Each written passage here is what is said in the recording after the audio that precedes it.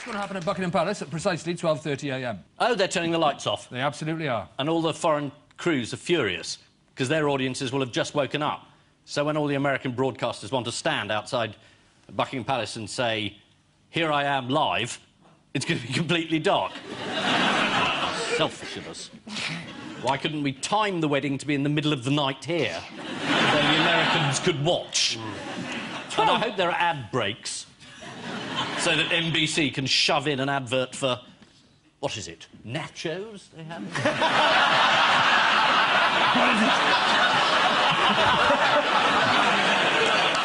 According to the Telegraph, Kate has invited her very first boyfriend, Willem Marx. I like Williams that are too posh to bother with the E bit. It's They're all. Willem. What's your name?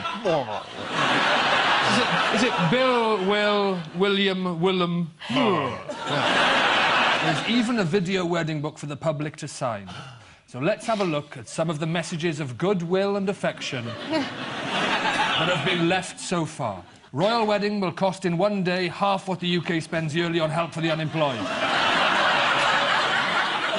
Oh, lovely. May their long and happy marriage be the last one of the monarchy of the UK. Vast numbers of people couldn't give the tiniest shit. Do I need to do these number six ones? Helen Mirren. Yes, sorry. Oh, that's right. nice. We'd all like to do Helen Mirren, but we don't do a quiz show, mate. That's what we're doing here.